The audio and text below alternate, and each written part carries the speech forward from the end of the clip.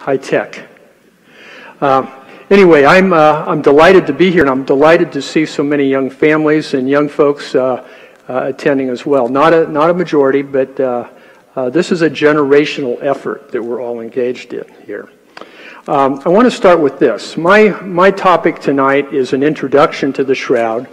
I know there are a lot of people here tonight that have uh, tremendous uh, interest, intellectual interest, in the Shroud of Turin. They've heard about it, they've done a little research possibly, and they want to learn more. So, my uh, task tonight is to provide a little introduction and some context uh, for the rest of the uh, uh, conference so that if you do attend some of the more technical sessions, you can put those in the right framework. You can understand where the presenters are coming from. And as Bob said, there will be some conflicts in some of the presentations.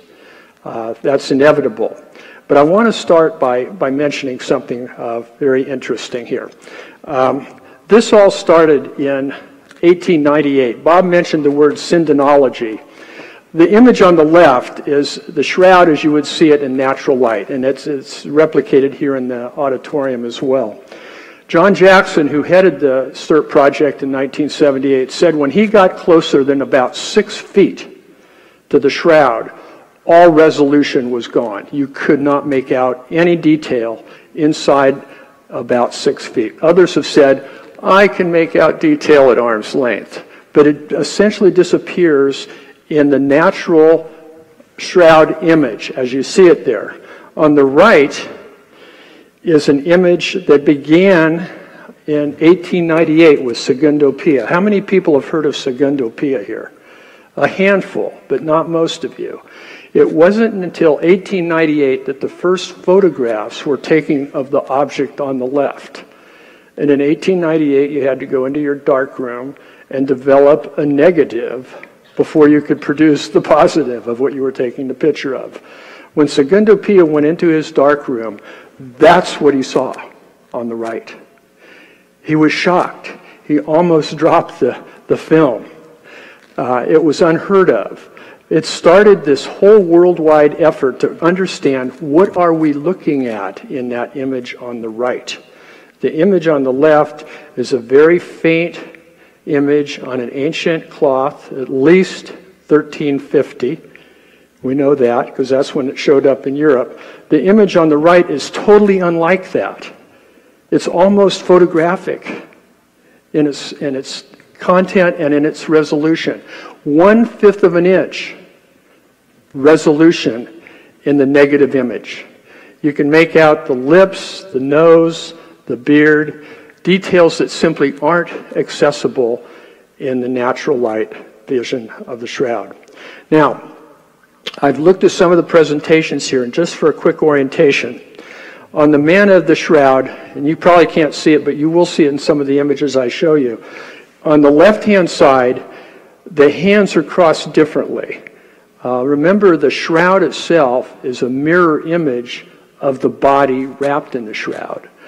Most often, when you see a negative image, not always, but most often when you see a negative image, it's as if the body was moved out of the shroud and you're looking at the body.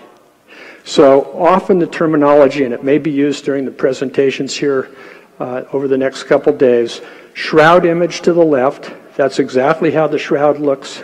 It looks like the right hand is over the left hand. In reality, the left hand of the body is over the right hand. This is called the body image. And you can tell quite often uh, there's a blood stain on the forehead. Uh, the, on the natural shroud, it looks like uh, the letter 3 reversed. And on the negative, it looks like the letter 3 as a letter 3. Also, just for orientation, the left hand covers the right hand. The blood stain on the left hand side of the chest, you can see it here on the, on the negative, is on the right side.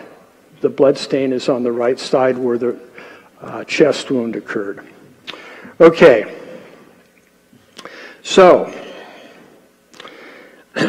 this is a cover of a book that was published just last month. There are some copies in the back.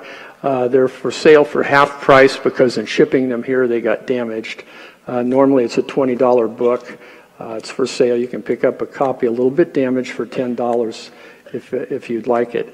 It's designed for the general public to give the information on the shroud so that the first time inquirer can gain a deep knowledge of what is known about the shroud. So it's called The Shroud of Turin, a critical summary of observations, data, and hypothesis, and it's produced by John Jackson, who's led the STURP pro- program, and the research team at the uh, Turin Sh- Shroud Center. Um, I'm giving the first uh, presentation tonight, other than Bob's introductory presentation. He mentioned the St. Louis presentation. I made the last presentation in St. Louis, the closing presentation. Joe Marino put me very last. Thank you, Joe. It was an honor. Uh, but in that conference, uh, we were presenting version one of this document back in 2014. This, the printed version now represents version four of this document, which continues, because every year there's more research that gets added to the corpus of Shroud research. So this is version four. Uh, it's also available online on the TSC website. But at St. Louis, I, I asked a question. It was a little different demographic at that conference. Uh, it was mostly researchers. Now, I know here tonight we have a lot of people that aren't researchers, they're inquirers on the shroud.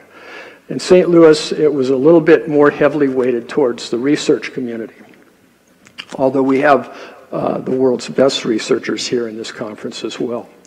I asked a question.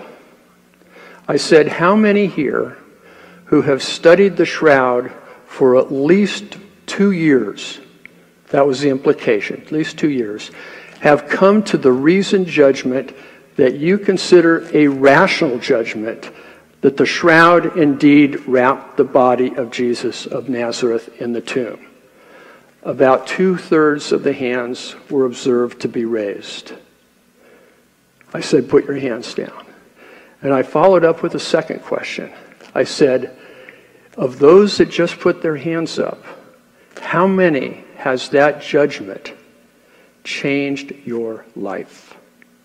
And it was observed the same hands went up. Roughly the same hands went up. The shroud is an intoxicating but fundamental and existential reality in our world. And if you come to the decision, and it's a decision, it's a free judgment, there's nothing about the shroud that will impose a judgment of authenticity. And maybe that's the way it's going to be. If it's from who we think it might be from, that's probably the bottom line. It's not going to be coercive. But it's a rational judgment based on the corpus of evidence that this is the shroud of Jesus of Nazareth. And if you come to that reasoned judgment after you explore the, uh, the data on the shroud, it will change your life. Now you say, well, I'm a committed Christian and I really uh, don't need the shroud. Believe me, this is toxic in a way that is hard for our world to absorb. The shroud, if it's authentic and you come to that judgment, you can't help it but, but see it as a material sign of a deeper truth, and it will change you. Okay, so my purpose here really is to give you some background so the rest of this conference can be understood in the context of what we already know about the shroud. The critical summary presents an overview of the key evidence. Um, I'm going to go back. Um, in St. Louis, uh, one of the fellows that uh, I chatted with was uh, Giulio Fanti, who's a, a world renowned researcher from Italy on the shroud. Uh, and he's making several presentations here at this conference. And in his uh, 2015 book, he related the same thing that he kind of related to me in St. Louis. And he said, if with authenticity, and this is he said in his 2015 book, if with authenticity is meant a very old shroud around 2,000 years old, woven in the Middle East, which wrapped the corpse of a man who had been harshly scourged, who was crowned with thorns, and who died on the cross and could be identified with Jesus of Nazareth, then in this case, an answer can be sought, although not ultimate and with no sure scientific proofs. We're searching for scientific proofs. We may, it may be asymptotic. But Giulio went on to say, the first author of the 2015 book, I, have personally found his answer after 15 years of studies and intertwining correlations among the numerous clues, not only scientific. The shroud is authentic. That's Giulio Fanti. So I wanted to relate that. But what we're talking about here now is some of the interrelated, uh, intertwining evidence that Giulio was talking about. The critical summary book that I just showed you the cover of is broken down into seven uh, sections. And I think it would help any inquirer to find out what the shroud is all about, to think in terms of categories of evidence. If you go out to the internet today, if you're new to the shroud and you came to this conference thinking you're going to learn everything about the shroud, uh, you aren't. You're not going to learn all about it in two or three hours of, of attendance here. And if you go out to the internet, you're certainly not going to learn about it because there's all kinds of conflict out there. There's people that would that hate the idea that the shroud could be authentic, and they've got dozens of websites out there promoting that ideology.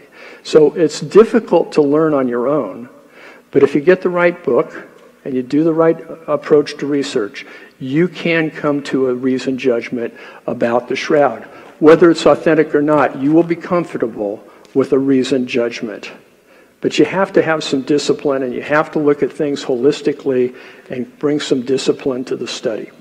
So the critical summary is, is organized in what we believe at TSC, John Jackson, uh, our leader said there are seven categories. There's historical evidence, there's medical forensic evidence, there's linen cloth evidence, there's image characteristic evidence.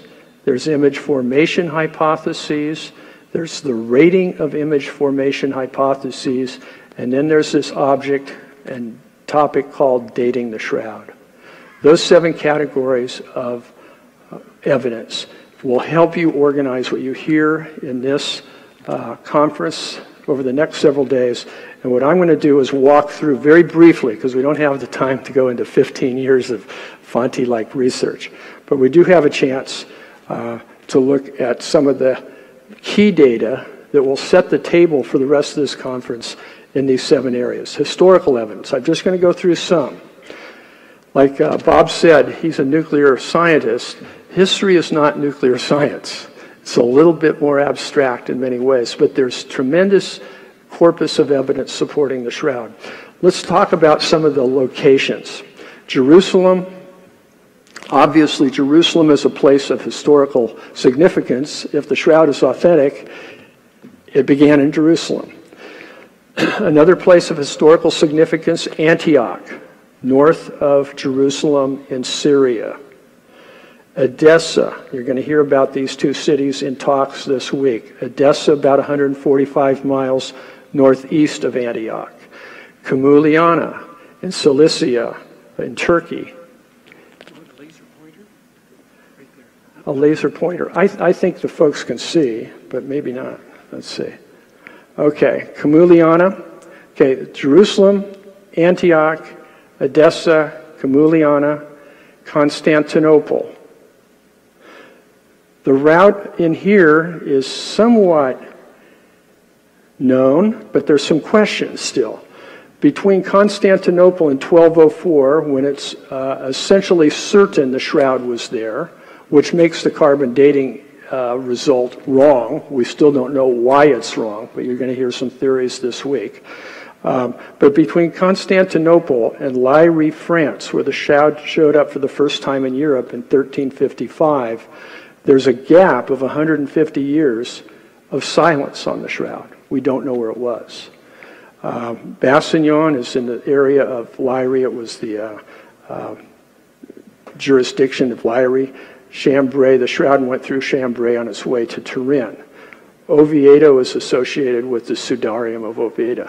Those are the only places, if you want to learn about the history of the shroud, if you master those locations and what may or may not have happened in those locations, you'll get a good grasp. Uh, Edessa, by the way, all of these cities uh, in the east at the time of Christ, uh, Jerusalem, Antioch, Camuliana, Constantinople, were in the Roman sphere of influence. Edessa was not. It was in the uh, Parthian area of uh, control. They spoke uh, Syriac and not Greek. But in the first century, during apostolic times, uh, Edessa was evangelized because there were a large number of Jews in that city. So there is a connection to Edessa that's a logical connection because early evangelists went there. Okay, let's go to the next slide. I'm going to I'm going to have to go pretty quickly through this. 70 AD. At the time of Jesus, Antioch was the third most important city in the Roman Empire, after the city of Rome and the Egyptian city of Alexandria. Peter visited Antioch in about the year 35 and is often given credit for founding the church there. There are some clues and hints that maybe Peter had possession of the shroud early on. Nothing definitive, but we know Peter was uh, hinted to have the shroud, and he was in Antioch as early as 35. He didn't stay there, went back to Jerusalem, and, but he was in Antioch early.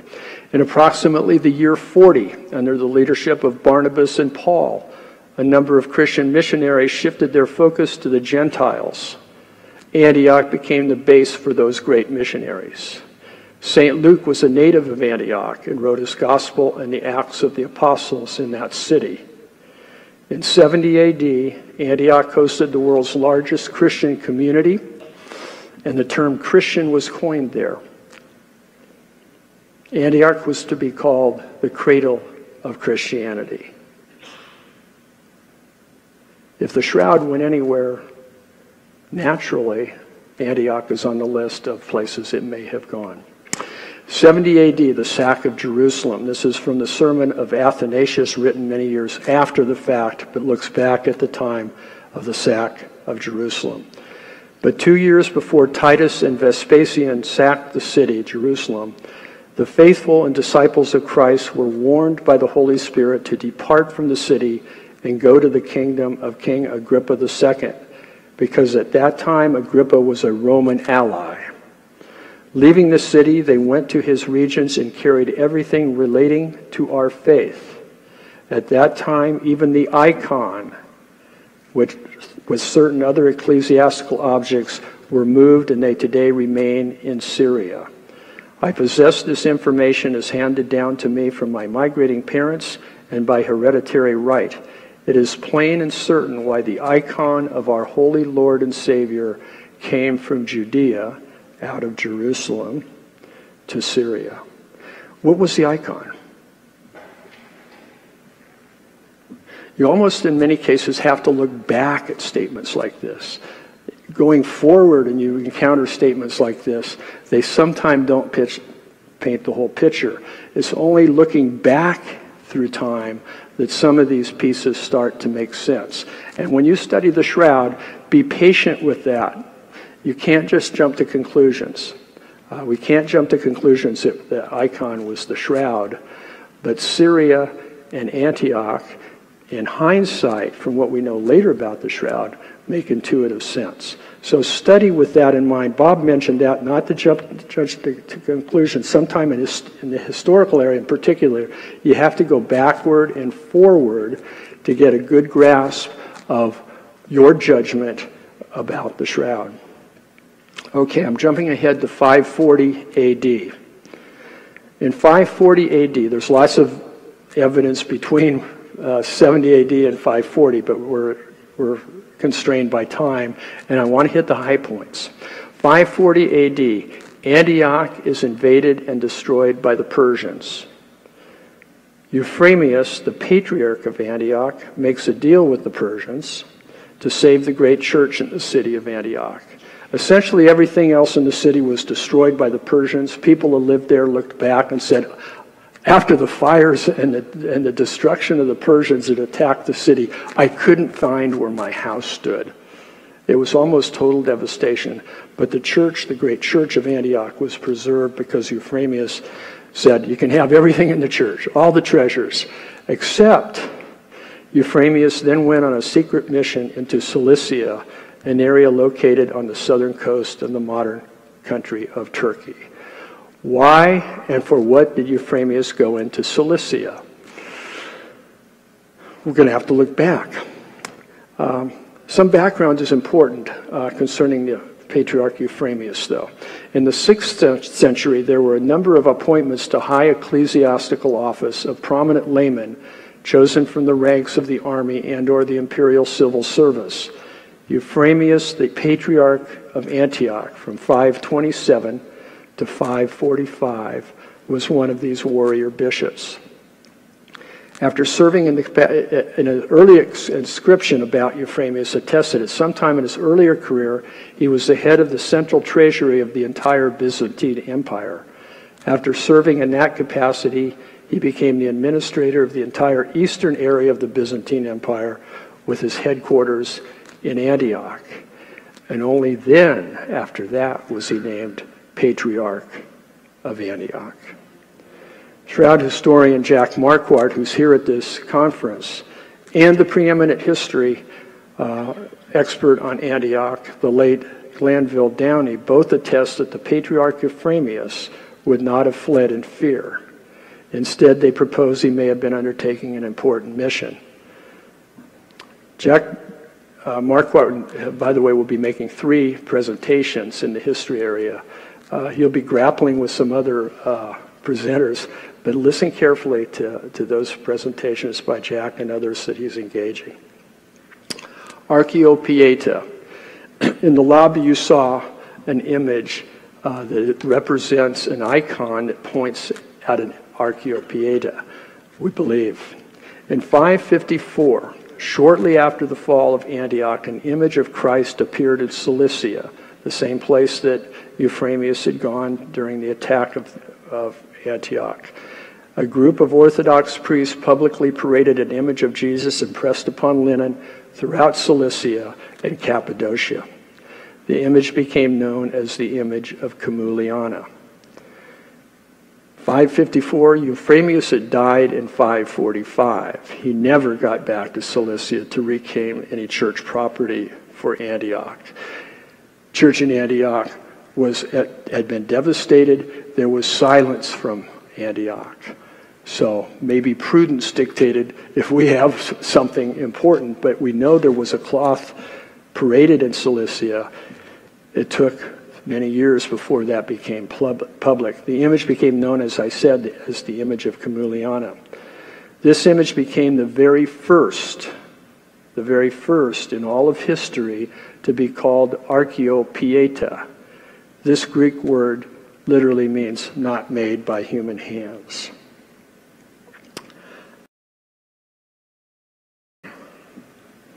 this iconic image emerged. There's a copy of it in the foyer. Of the Pantocrator icon images and is considered the archetype for all other variations of the Pantocrator icon. If you've looked at Greek and Byzantine history, you see very uh, a large variety of Pantocrator icons. This is the first. Today it resides at St. Catherine's Monastery in the Sinai Desert. When the icon was first investigated in 1962, you see how recent some of this research is, 1962. Uh, Segundo Pia took his picture of the shroud in 1898. So it's really been just a little more than 100 years that shroud research has really been focused on, on getting the data. But in 1962, uh, this, this image was covered with a thick yellow varnish the icon was carefully restored, and the details of its restoration were published in 1967. Subsequent to its restoration, the icon was dated to CA 550. Right after the image of Camuliana was paraded publicly, almost simultaneously, this iconic image appears, the most famous of all Greek iconic images. The renowned German art historian Hans Belting has stated the following about the Christ Pantocrator, which means ruler of all, almighty ruler, omnipotent Lord of the universe. It apparently, quoting uh, Hans Belting, it apparently reproduces a well known original of the time that determined the type of Christ preferred in Byzantine. The icon's general appearance, in fact, is derived from a concrete model whose identity is still an open question. For all its spontaneity, it was not invented by its painter, but seems to reproduce a famous for a given commission. So, what is the archetype?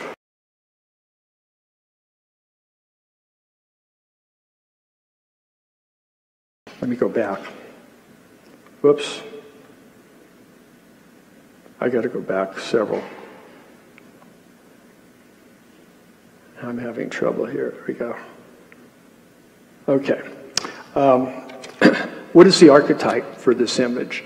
Uh, Shroud researchers Allen and Mary Whanger identified over 150 points of congruence between this image. They used a special technique called a overlay technique. Uh, it was a photographic technique. They identified over 150 points of congruence between this image and the shroud image. Generally, 65 to 70 points of congruence are sufficient to judge that the, same, that the images, the two images, belong to the same person. So there's great congruence between this image and the shroud image, particularly in the asymmetrical nature of the face portrayed here. Okay, 544. Just four years after Antioch was attacked by the Persians, so was Edessa. Just four years after the sack and destruction of Antioch, Khosroes, the leader of the Persians, and his Persian army turned north to besiege the city of Edessa. In a close fight, the citizens of Edessa repulsed the Persian army, unlike in Antioch. Evagrius Scholasticus, writing in his ecclesiastical history in approximately the year 590, described the battle for the city of Edessa and relates how an image of Christ of divine origin was given credit by the people of, the, of Edessa for their victory. The designation of Acheiropoieta, not made by human hands, was given to the image of Edessa just about 20 years after that same designation was given to the, sec- to the first Acheiropoieta, the image of Camuliana. The image of Edessa was thus the second image in history to be given this designation. Imperial appropriation of Acheiropoieta images. In 574, the image of Camuliana is seized by the Byzantine Empire, emperor and taken to Constantinople. After the image bearing cloth safely arrived in Constantinople, the Byzantines changed the name of the image to the name Image of God Incarnate. That became the name of the image once it arrived in Constantinople. You will hear about that in some of the presentations tomorrow. There are nine different, well, I think there's more than nine. There's more than nine presentations uh, on the history, and it focuses right in on this area. In 943, the image of Edessa was seized by the Byzantine emperor and taken to Constantinople. As of this date, 943, both Acheiropoieta images, the one that first showed up on linen in Camuliana and the one that showed up on cloth, supposedly linen in Edessa, are both in Constantinople. Is one of them the shroud? Almost certainly. Which one? You'll hear more about the arguments tomorrow. Uh, shortly after, in, in historical terms, um, new icons tended to appear in uh, Byzantium. By the year 1164, a new iconic image had emerged in Byzantium, the Epitaphios or threnos image, and early examples given here. Shroud like features long hands or long fingers, hidden thumb, uh, laid out like a burial image, shroud image, and there are markers that look like the shroud. Notice the uh, odd treatment of the abdominal area. Uh, I think that's interesting. I don't know what I did with the clicker. Somewhere. I'm going to try to find it. Notice this area right in here. This odd treatment of the abdominal area. We're going to see that some more. Here's, a, here's another image of another Epitaphios image. This one's from about the year 1300. Also note the unusual treatment. This one is in Thessaloniki, uh, still there, I believe. Uh, notice the odd treatment if back, but there's an odd treatment of that abdominal area. So art plays, uh, art his, history plays a big factor in shroud research. Here's the Hungarian Pray Codex. Many of you may have heard of this, most probably have not. This is an image that was found in 1192 to 95 in Hungary. Very much shroud like features. Uh, the arms are crossed at the wrist, like the shroud back there.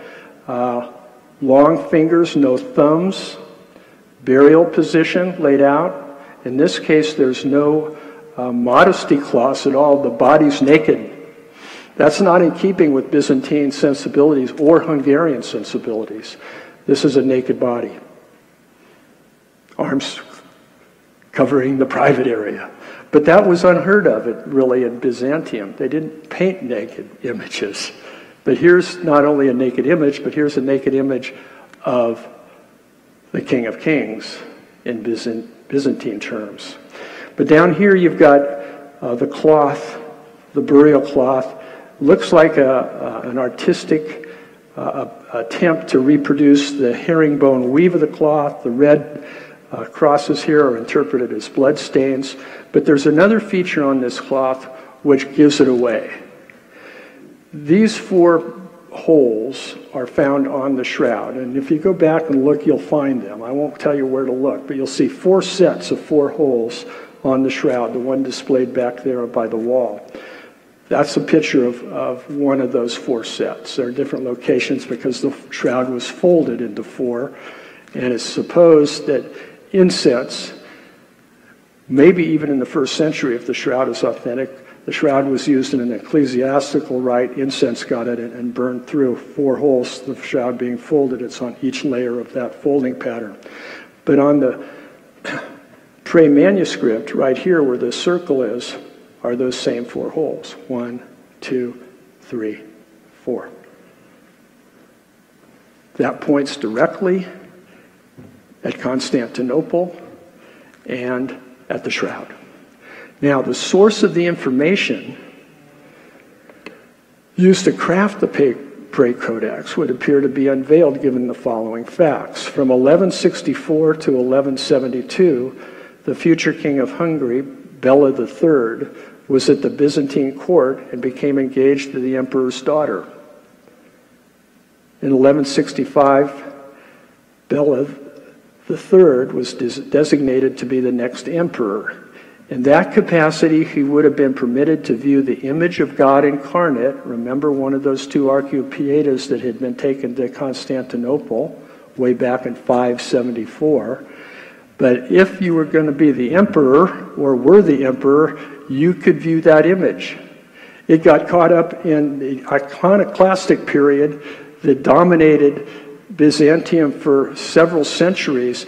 Images were not allowed images of God or his son were not permitted because to draw an image you had to put a border around it. And borders circumscribed what could not be circumscribed. So iconoclasm led to secrecy. And only the emperor, and Jack Markwardt may discuss this a little bit in the next two days, was given permission to view this image. But if Bela was going to be the emperor, he was also given permission, would have been given permission to view the image. When the emperor's son's Manuel, however, uh, produced an heir, Bela's engagement was canceled. In 1172, he succeeded to the Hungarian throne, and during the final decade of his rule, this image was crafted in Hungary. And as I said, this image points directly back at the shroud and at Constantinople. That's not a hard judgment to make. Uh, the image has the same, is it proof? Make a judgment. You have to make a judgment. It's not going to it's not going to be proved by itself, but all these things add up. And I'm just covering some of the high points. 1201 AD, the empirical imperial relic collection inventory. Nicholas Mesarites was the overseer of the imperial, imperial relic collection that was maintained in the Pharos chapel of the royal palace in Constantinople. In 1201, he published an inventory of the linens in the collection. By this time, iconoclasm had passed. The image, both Acheiropoieta images, were brought out, put into the Imperial Relic Collection, and were viewed by more people, but not necessarily the public. In 1201, he published an inventory of the, of the items in the collection. He gave the following description of one of the items the burial sindones of Christ. These are of linen, they are of cheap and easy to find material, and defying destruction since they wrap the uncircumscribed, fragrant with myrrh, naked body after the passion in this place. He rises again. Naked body again, not in keeping with common sentimentality and in Byzantium, but that's what they had, and that's what he reported. Again, the word uncircumscribed is used there.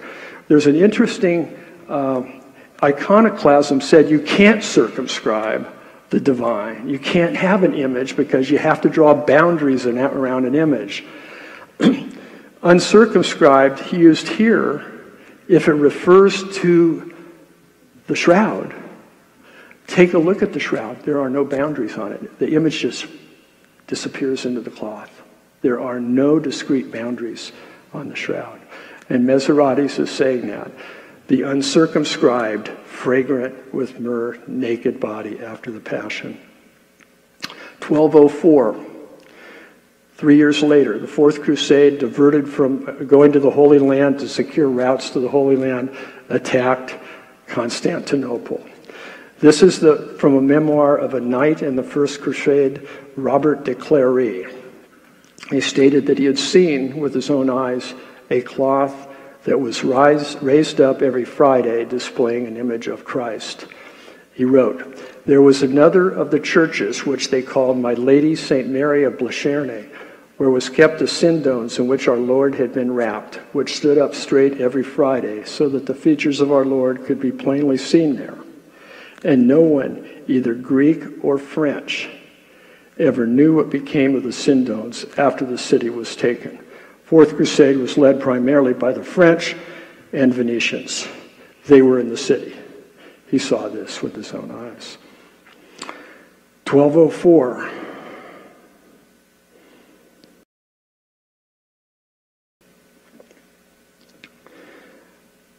There's another slide here I want to show you if I could find it. Okay.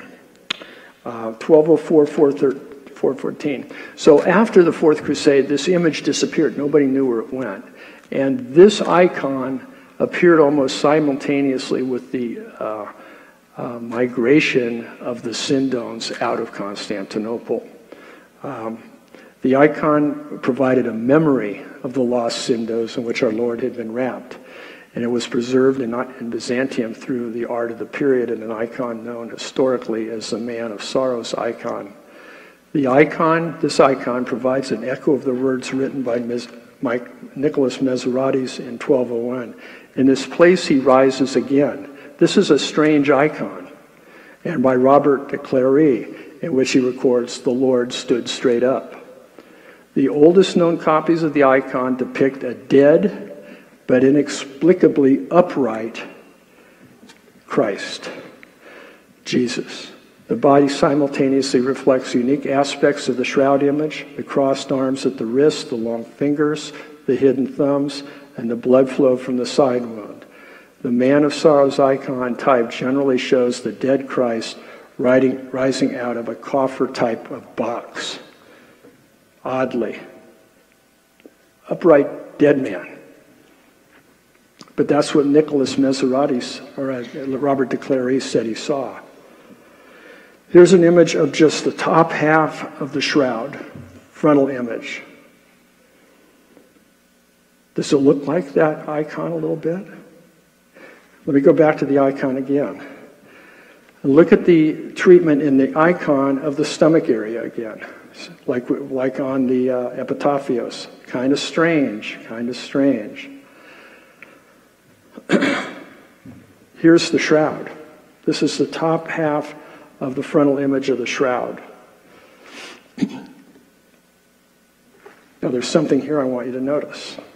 I don't know if you can see this from where you're sitting. Those up front can see it. Right here is a big water stain right in the middle of the abdomen.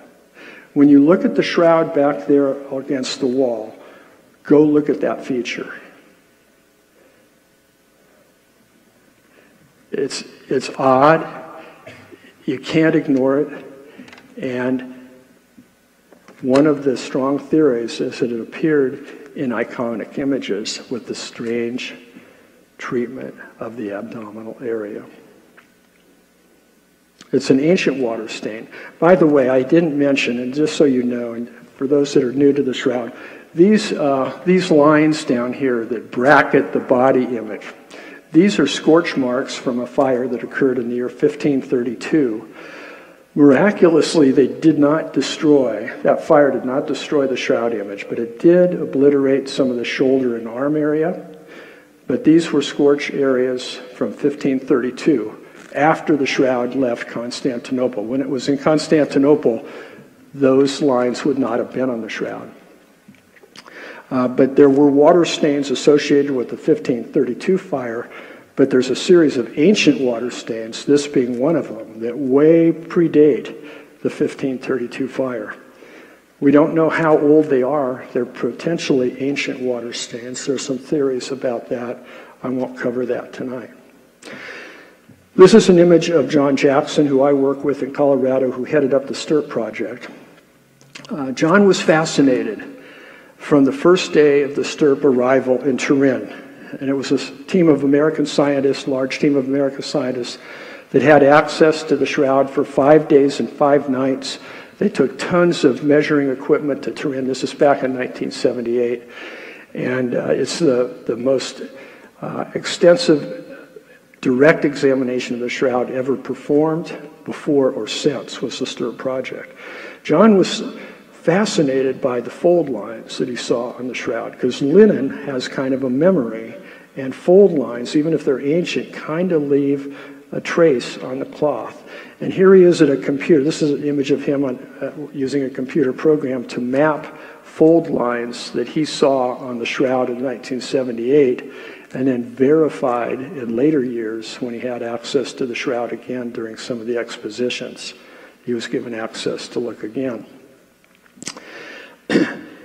this is a uh, lifting device that John Jackson said is consistent with these fold lines valley folds and peak folds, both ways valley folds and ridge folds. He analyzed the folds and he said, hmm, ridge fold, valley fold, ridge fold, band of many folds plus a seven centimeter discoloration band. This in particular, the folds are hard to see unless you have special photographic images of the shroud or can examine it directly as a linen cloth. But this uh, discoloration band, knowing that it's there, Go back and look, and you'll find it. You'll see it. It's right there. fold, three valley fold marks, one ridge fold mark. He constructed a prototype and said, Gosh, the Byzantines were known for this kind of theatrical approach to liturgy. This might have been how Robert de Clary said the Lord was raised up every Friday in the Church of St. Mary of Blacherne, and he rises again. Um, fold lines are empirical, they're there. Some people say, I can't see them, they're looking at photographs. They are there. They are compatible and consistent with such a lifting device, which prototypes have been built for. It nicely raises the front half of the shroud out of, the, out of a box like coffer. Boom box like coffer. That, that tends to be empirical, where the art often and some of the history cannot be considered empirical. So you've got art history and this empirical aspect. At least it's a, it's a, it's a evidence of empirical lifting device. Both of those predate the carbon dating of the shroud. Carbon dating of the shroud is wrong if this is right. Unfortunately, we don't know why it's wrong, and it's important to tell the world why it's wrong, why it was wrong. There are several presentations at this conference. Joe Marino, Mark Antonacci, Bob Rucker will be discussing those issues. You're going to hear about that. What are they trying to do? They're not trying to uh, kill the carbon dating date, it's dead the art, the history, this empirical evidence, the carbon dating date was wrong. But why it's wrong, we don't know. So most of the presentations on uh, carbon dating are trying to find why it was in error. Keep that in mind when you listen to those presentations. 1242, King Louis XIV, or 9th, I'm sorry. Between 1239 and 1242, the French king Louis IX the future St. Louis, received 22 sacred relics from his cousin Baldwin II, the Latin emperor left in control at Constantinople. Among these relics was the encased Edessa cloth, the Mandylion. The building commissioned by St. Louis to house the rel- relics stands today as the magnificent Sainte Chapelle Chapel in Paris. I don't know, has anybody been there? Is it the most beautiful place you've ever been? Uh, this is renowned as one of the most beautiful buildings ever built. It was uh, consecrated on the 26th of April, 1248. 1248, people. This building, if you've been there, you know it, how beautiful it is. And it was constructed specifically to house these relics that were sent to Constant- from Constantinople to King Louis. Uh, and the Mandylion was one of those. So one of the Acheiropoieta images supposedly went to Sainte Chapelle. We're going to hear about that tomorrow. What was it? What happened to it? Was it the shroud? Was it not the shroud? You're going to hear some presentations about that tomorrow. 1355, the shroud appears in Lirey, France. But this is 150 years later than Robert de Clary's statement that the shroud disappeared in Constantinople. The family never indicated, the family that had possession of the shroud never indicated how they received the shroud. All they said was, Liberaliter oblatum. And that was the person that found it, Geoffrey de Charny and his wife Jean de Vergy, and that is freely given. We don't know how they got it yet. We're going to hear some presentations tomorrow with some strong evidence and hypothesis that explains where Geoffrey de Charny acquired the shroud. So if you listen to that presentation, that can be absolutely groundbreaking. That can change the whole equation for the world about the shroud. Because people have said, well, it disappeared in 1204 from Constantinople, and then it appeared, something appeared in uh, uh, Lirey, France. Well, we know what appeared in Lirey, France was the shroud, but that was the beginning of the shroud. It really didn't connect back through that 150 years. Uh, presentation tomorrow may clear up a lot of things.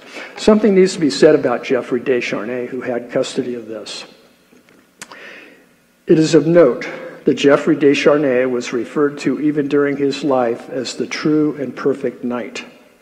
He was the author of at least three works on chivalry and was perhaps Europe's premier knight during his lifetime, with the reputation for great skill at arms and also for great piety and honor. On more than one occasion, he was given the great honor of carrying the Oriflamme, the battle standard of the King of France, into battle. Geoffrey lost his life at the Battle of Poitiers while carrying the Oriflamme on 19 September 1356, not more than not much more than one year after he first displayed it in Europe after 150 years of obscurity. How did he get it? What kind of man was he? He was a very honorable, famous knight in France. And all of a sudden, the shroud, not an Acheiropoieta, but the shroud today that's in Turin, Italy, was in his possession. How to get there? We're going to hear more about that tomorrow. That's important. There will be some arguments. People are going to be fighting it out, duking it out.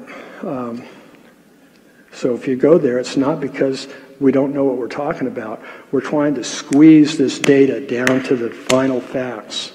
What are we going to know? Because it changes the whole equation if we can clear up some of these mysteries. Um,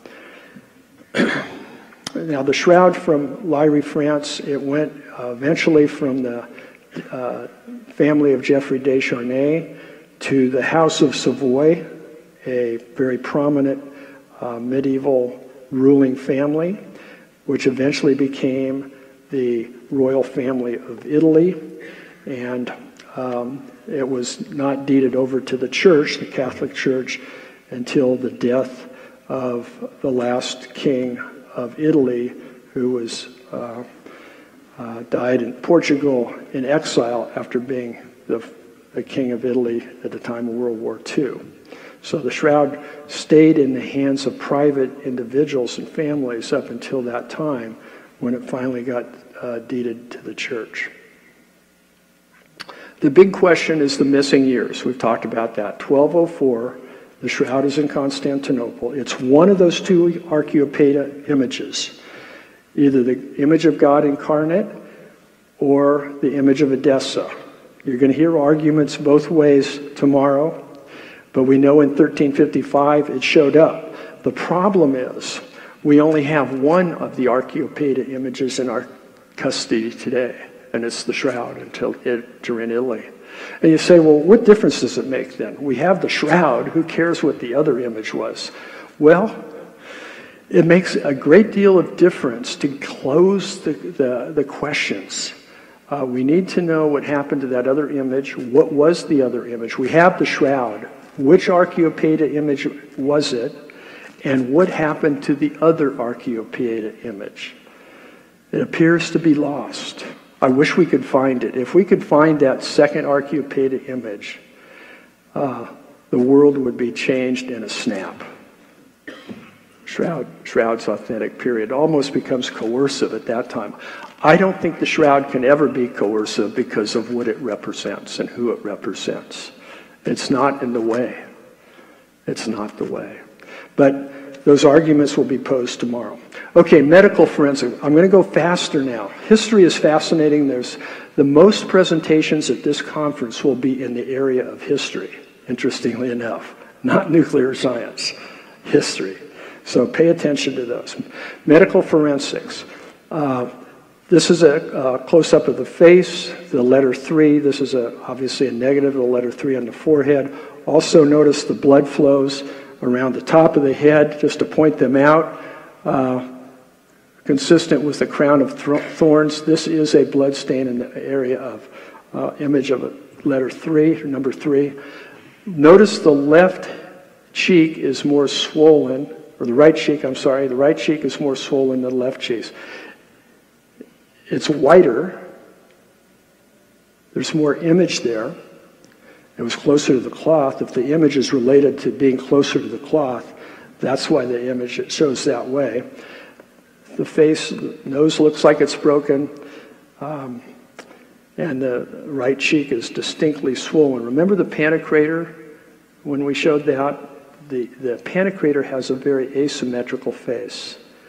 And if you block one side and then the other, you can see the significant asymmetry there. The shroud face is asymmetrical also.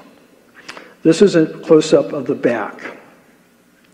Not only was the back scourged, the front of the body was scourged. Notice the, uh, in, in particular, uh, here you can see the uh, dumbbell style or dumbbell type wounds. They're all over the back, but here it's enlarged, consistent, totally consistent with the Roman scourging instrument. Uh, it's even been analyzed to note that the, that the back shows kind of a crossing pattern. And this has been analyzed to, to determine that two people scourged the body. Uh, there are different angles on the left and right, which means probably one of the persons scourging the uh, victim was taller than the other. It wasn't just one person that went from one side then to the other.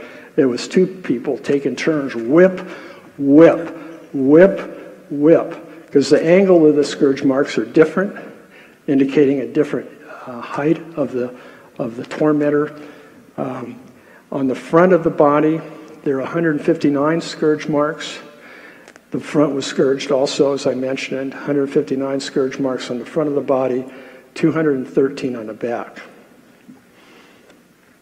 Brutal. We're going to hear about the, uh, uh, the death of Christ in one of the pres- there are two presentations on medical forensics. That's all. One of them has to do with the uh, with the death and the cause of death. The scourging was so severe it could have caused death from hypovolemic shock. I couldn't take it. I know that. Uh, this is uh, this is an interesting piece of archaeological find. In 1968, a skeletal heel bone with a seven-inch long Roman nail driven through it was discovered in an ossuary or bone box inside a first-century tomb in the vicinity of Jerusalem. Significant finding. If you remember the Jesus Project back in the 60s and 80s, said, oh, victims of crucifixion were simply thrown in a ditch to be eaten by birds and, and wild animals. They weren't released for burial. Being crucified did not warrant a Jewish burial. Wrong. But we didn't know that for sure until 1968 when a heel bone was found in an ossuary. So crucifixion victims were released for Jewish burial at least some of them. So on the shroud, we see the bottom of the two feet, right foot. There's uh, this is blood, blood, right foot, left foot. Lots of blood on the bottom of the feet. This blood flow off the uh, side of the foot is interesting. It means that forensically, we don't know. The, the most traditional way that we see the, the, the body crucified is with a nail through the top of the feet, with the two feet crossed. But it could have been that the, that the feet were nailed through the heel, particularly that blood stain on the right. It's, it's consistent with either method, is what we I must say. This is the two hands crossed. Uh, the left hand has a large, uh, large blood stain at the wrist here and then blood up and down the arms as well. These white, remember the negative, white is blood, red. It shows the dark things on the shroud show up light in the negative image. This is a blood stain at the wrist, not in the palm of the hand. The palm of the hand's down here, it's in the wrist.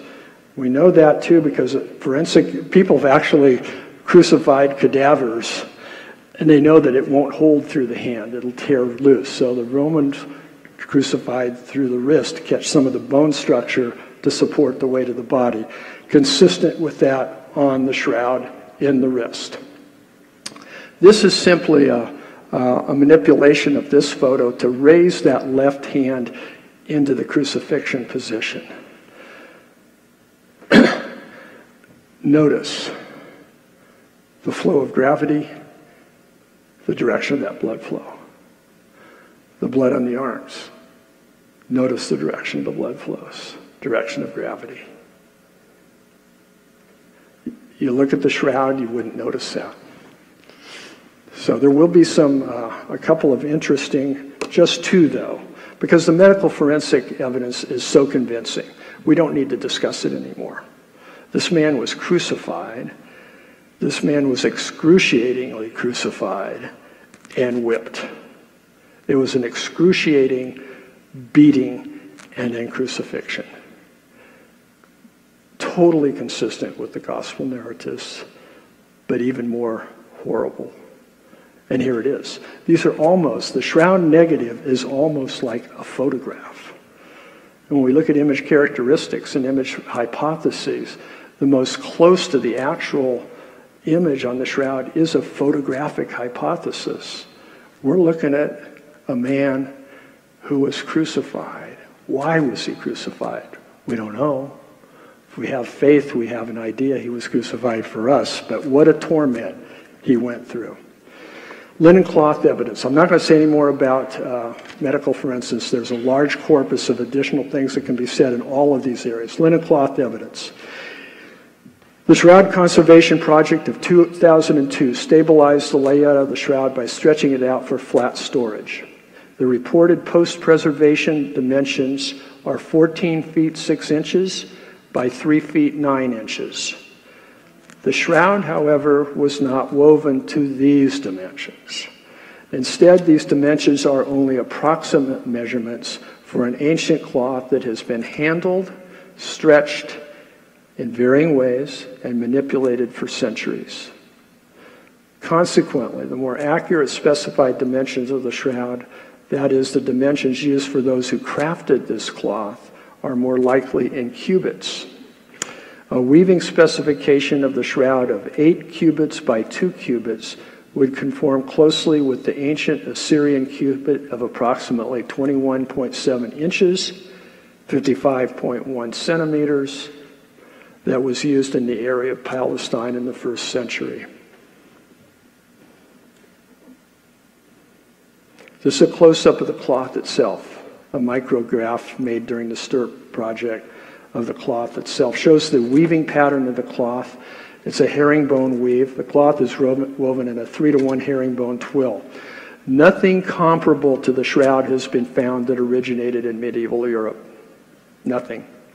The late John Tyrer, a textile researcher in Manchester, England, studied the X radiographs of the shroud taken during the STURP expedition. He wrote, the shroud is a very poor product by comparison to medieval European fabrics. It is full of warp and weft weaving defects. The impression I am, the impression I am left with is that it was a cloth is much cruder and probably earlier fabric. I think this lifts the shroud out of the Middle Ages more than anything I have seen about the textile. This is the textile expert speaking. So shroud research is broad. Uh, when the radiocarbon dating of the shroud was done in 1988, one of the things they wanted to do was find a control sample from the Middle Ages that could reasonably match the shroud so they could control test a, a known medieval uh, linen cloth that matched the shroud. Nothing could be found. John Jackson was actually contacted as well. John, do you know of any other cloth like this that we can acquire as a, as a sample that can be a control sample for the radiocarbon? Nothing could be found. It can't be seen in this picture either. Let me go back, I'm sorry. It can't be seen in this picture, but there's banding in the shroud. And you can see it best in backlit photographs where you can see these dark bands that go through the shroud. Uh, those are consistent with weaving of ancient linen because different samples of thread were retted separately and then woven separately. And so you got the banding, the different hanks of thread were different in color. It conforms to the uh, specifications that Pliny the Elder used in the first century for making linen. Medieval linen didn't have that banding. They had figured out you don't ret the separate hanks of cloth or thread because you get banding, so let's do it all together. So medieval cloth typically doesn't have that banding. By then, it wasn't, but the shroud has it. Another pointer back to first century provenance. Okay. Still talking about the linen cloth. Now, when we talk about the linen cloth, we're not just talking about the cloth, but we're, find, we're talking about what's on the cloth besides the image. Now, this is a picture of Max Frei, the man on the right, is taking sticky tape samples from the shroud during the 1978 uh, STURP project. To the back and the background to the left is uh, the STURP chemist Ray Rogers. Frei here is making an effort to collect samples of pollen from the cloth. Frei was recognized during his lifetime as one of the foremost criminal forensic scientists in Europe. In 1948, he was the founder of the Zurich, Switzerland Central Police Scientific Department. He undertook this project early in his retirement years. Now, we're going to find some of this evidence is somewhat ambiguous, but it's telling too, and it adds weight. Uh, there are roughly 380,000 species of plant that have thus far been identified on Earth. The scientific study of the pollen of these plants is the branch of the science of botany known as palynology. Forensic palynology is the discipline that focuses on pollen, on pollen found on an object of investigative interest criminal, historic, or archaeological as potential evidence that can place that object in a certain place at a certain time of year. Not so much in the United States, but in other countries, paleontological, forensic paleontological evidence can be used in court. We found pollen from this place where the body was dumped places this suspect in that location. I need other evidence to collaborate it, but it's used in court. One of the factors that makes forensic paleontological paleontology possible is that the outer wall of a pollen grain, the exine, and you see a picture of a pollen. This is a electron microscope picture of one pollen grain. Can't see it with the naked eye. Uh, the outer cover of that the exine is composed of one of the most chemically inert polymers known to exist. Pollen can last millions of years. I didn't know that. Most of you probably don't know that. But it also has a fingerprint that because of the biodiversity of trees and plants in certain areas, uh, the pollen from a certain area gives a fingerprint of that area. Max Frei analyzed, he got 56 pollens that he analyzed over a course of a number of years during his retirement. And he identified 56 pollens that he could identify with the area of Palestine, Anatolia, where Cilicia is, Constantinople, France, and Italy. Now, he died before he completed his work. Uh, it's not sound to make a firm commitment that the shroud had to be in those areas, but it's supporting collaborative evidence. There's more that can be done in this area. The custodians of the shroud have not allowed new samples to be taken, but the science of palynology, forensic paleontology, has, has progressed uh, tremendously since the time of Max Frei more testing can be done. Nobody's promoting that really right now because there's other issues that are, seem to be more important. But he found the shroud likely was in those areas, and it is a science, forensic paleontology. Temple steps in Jerusalem. The Temple was destroyed in 78, but 78 AD, but these steps are still there. STURP team members Roger and Mary Gilbert while doing ultraviolet spectroscopy scanning of the dorsal image area of the shroud during the STURP project, detected unusual signals when they reached the area corresponding to the soles of the feet, where we saw those blood stains. They immediately called for the assistance of optical physicist Sam Pellicori, who brought his portable, portable microscope over to examine the area. Shroud historian Ian Wilson in his book, and I'm getting, Bob's giving me the timeout. Do you want me to stop? Can I go on for five minutes more, Bob? Okay. Brought his microscope over, and his statement was, it's dirt. Dirt on the feet. Subsequently, look, they looked more carefully, dirt on the nose, dirt on the left knee. All of which is consistent with other things that we find in the gospel that Christ died. Let me go very quickly.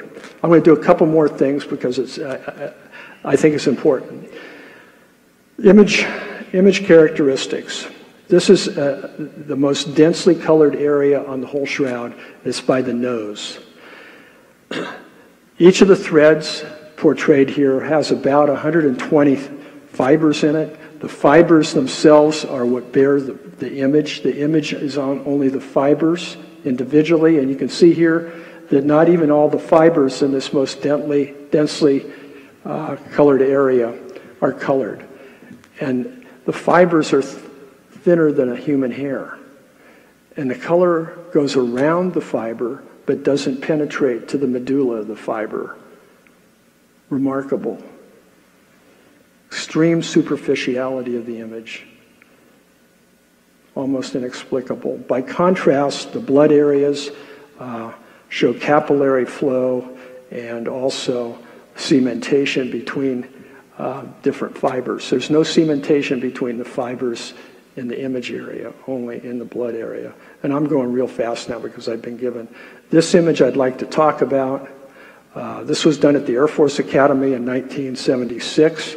John Jackson was teaching uh, physics at the Air Force Academy, and he had a picture of the shroud, and he was familiar with a uh, image analyzer that was used by NASA and others to do image analysis. And he said, I'd like to put the shroud picture on that. And so uh, a, a, person that he knew, Pete Schumacher, an engineer with interpretation systems, uh, brought a, uh, an instrument over to the Air Force Academy to make a brightness map of the shroud. He said, I hadn't known about the shroud before, but what happened next was extraordinary to me. The results were, to say the least, unique. The nose ramped up in relief, the facial features were contoured properly. This result from the VP8 had never occurred with any of the images I had studied, nor had it, I heard of it happening during any image studies done by others. No other image produces these same results. Uh, Jackson and Jumper were both officers teaching physics and aeronautics at the Air Force Academy. The STURP project was born at the U.S. Air Force Academy. Image formation hypothesis, very quick. If you give me three minutes, Bob, I can, I can wrap it up real quick. There's three different categories of image hypotheses. Dead body alone, two, two routes to an image through a dead body, either contact, direct contact with water, oils, perspiration on the image, or gas, cadaverine, uh, uh, decomposing body gives off gas, possibly the gas reacted with the image. Two image uh, hypotheses with the dead body alone artistic creation, one, two, three, four, five, six, and then radiation.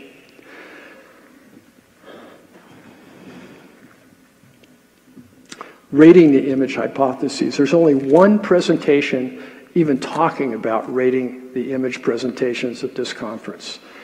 You can't see this very good, very well. But all of the dead body alone doesn't work. It doesn't work. All the tools to analyze this are known. Uh, they've been discounted. Dead body alone doesn't work with the 17, and, and Jackson has used 17 image characteristics rating each of these, and, and people in the, in the history of shroud studies. Dead body alone doesn't work. Artistic creation doesn't work. The closest is a, is a medieval camera obscura because the image is close to being a photograph, but it doesn't work either. We're driven over to the right side of this to radiation or electric field. Everybody that he, that's here that is a scientist that studies the shroud knows this. You may not know it, so you're going to hear argument. All those arguments are way over here on the extreme right. Radiation, light, looks like the only possibility for the image on the shroud. The others have been shown to be inconsistent in multiple areas. Buy our book back there. It gives you the details of how those great ratings are done. So when you hear controversy, be aware it's not controversy about image formation. It's image formation driven to the extreme right into the area of radiation as the only possibility that serious shroud scientific researchers now consider a possibility. You're going to hear some variations on that from Bob Rucker, Mark Antonacci, Giulio Fanti, and others over the next several days. Dating the shroud, there, there are several presentations. What I want to say here only is this. We can be confident that dating is wrong. There's too much evidence that the shroud was in Constantinople in 1204, and that says the carbon dating of 1290, 1260 to 1390 is wrong. And besides that, uh, Joe Marino is going to talk about the sample. Only one sample was taken. Leading up to carbon dating, there was a complicated uh, system of uh, planning that was put together called the Turin Protocol. They were going to take multiple samples from different places on the shroud. They didn't. They only took one sample from the worst possible place, according to Alan Adler, a STURP member. Uh, right down here in the corner of the frontal image, right down in the corner, there's ancient water stain in here as well. We're going to hear about that corner. But only one sample was done, and it came up with a date that the Constantinople uh, presence makes it, but we don't know why. So we haven't explained it yet. So it's important to the public to say, well, when the carbon dating was announced in uh, 1988, the shroud went into a kenosis, like the kenosis of Jesus Christ and the incarnation. The public turned away, scientists turned away, said, well, that's it, carbon dating. Um, after 1978 in STURP, there was a general interest in the shroud. Cross National Geographic had a big article on it. After the carbon dating, it went quiet. We're still in that era but we're very, very close to breaking out of that era. And this conference may have profound effect on doing that. I'm not going to do that. Concluding comments. Um, I won't do any concluding comments. I hope this piqued some of your interest in all of these areas, but use those categories to look at what you hear this week. Don't just hear it in, as disjointed people arguing with each other. They don't know what they're talking about. They do, but they're in very small areas of discussion. The, the missing years between 1204 and 1355 is a big deal. Eight presentations being made at this conference on that topic. If we can get some coherence in that, but these guys that are presenting have very different ideas. So you're going to hear some people that don't sound like they know what they're talking about, but they're in a micro area focused on that. The bigger picture is the St. Louis picture. Two thirds of the hand went up. I judge the shroud to be authentic. And the evidence supports that. But uh, use your own judgment you're free to do that, of course. I don't think the shroud will ever be coercively proven, but uh, it's difficult to look at all this evidence to which I've just touched on and say, hmm, there's no coherence in that judgment. There simply is. So thank you for your patience. I know that I was trying to uh, punch a lot into a short presentation, but hopefully that was of some help to you and not confusing. Bob, thank you.